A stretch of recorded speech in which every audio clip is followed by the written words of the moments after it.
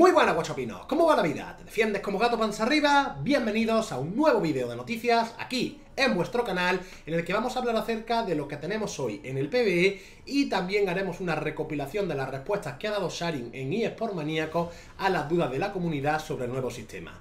Dicho esto, vamos para adentro.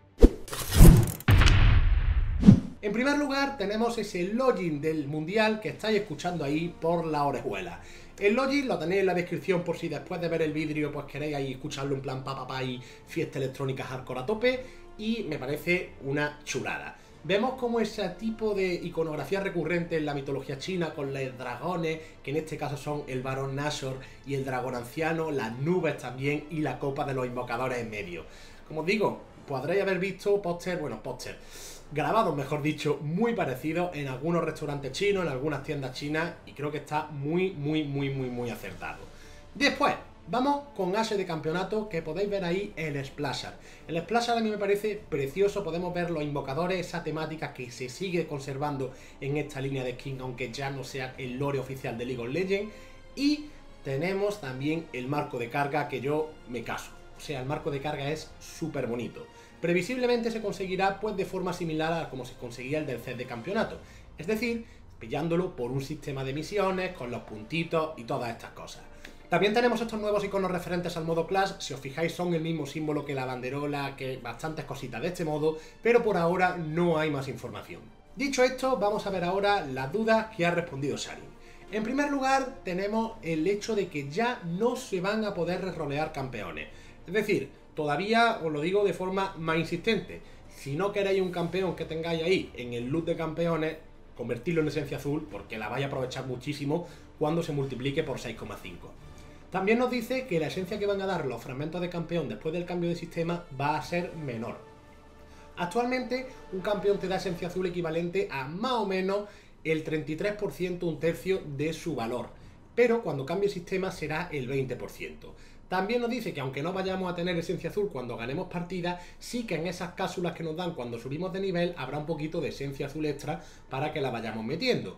Y hablando de todo esto, pues para que voy a querer tantos millones de kilos de esencia azul, porque la tienda exclusiva no va a estar solamente en esta pretemporada, sino que volverá en más ocasiones. Obviamente no va a volver pues un montón de veces, sino que serán ocasiones muy muy muy puntuales para la gente que ha estado ahorrando muchísimo, muchísimo, muchísimos PI, pues puedan coger ahí y gastarlo.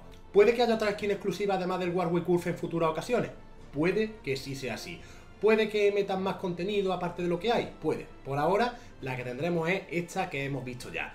También nos comenta que la curva de nivel va a ser un poquito curiosa, es decir, no va a ser que cada vez necesitamos más experiencia para subir de nivel, sino que iremos necesitando generalmente más, pero puede que después de algún nivel que no haya costado especialmente subir porque requiera mucha, el siguiente nivel, los siguientes pocos niveles requieran un poquito menos y después volverán a requerir más. También puede que tengamos alguna skin exclusiva y recompensa extra en ciertos niveles, aunque lo ha dejado un poquito en el aire, no lo ha confirmado del todo. Nos ha dicho también que vamos a tener información sobre rewards y sobre las recompensas de fin de temporada muy, muy, muy prontito. Y también nos dijeron, a raíz de esto, otros Rioters que en el 7.19, Azir y Shinzao los tendríamos. Eso sí, sobre el chat de voz nos ha dicho que los playtests que han hecho, cómo lo han ido probando dentro de Rito, no es algo que le desagrade, pero que por ahora está parado. ¿Por qué? Porque bueno, puede crear mucho caos, puede crear mucha confusión y no es actualmente su prioridad eso de meter el chat de voz. En último lugar, sobre las runas, nos ha dicho que todavía quedan algunas runas bastante OMG que tienen que salir, pero obviamente pues no nos ha podido comentar exactamente cuáles van a ser. Ya sabéis que en cuanto esté toda esta info, os lo traeré en el momento. Dicho esto, poco más. Espero que os haya gustado este vídeo o este vidrio, ya sabéis, cada uno que le diga como quiera, y si ha sido así, dejad vuestro likecito y suscribíos al canal y activad esa campanuela din don din dan din dun, que ahí lo pone, mira, el campanica y os avisa de todos los vídeos, que YouTube ya sabéis que bueno, pues a veces los monos altamente cualificados con retraso mental severo que tienen ahí encargados de mantener YouTube, pues no avisan de las suscripciones y con la campanita pues os aseguráis de que no os lo podéis perder. Y bueno, como decía, ya sí que sí, poco más, decidme qué os ha parecido todo, también sugerencias para mejorar. Os recuerdo que me podáis seguir en Twitter, Instagram, Facebook, por la calle con un cuchillo para matarme, arroba jguinzo y nos vemos en el siguiente. Adiós.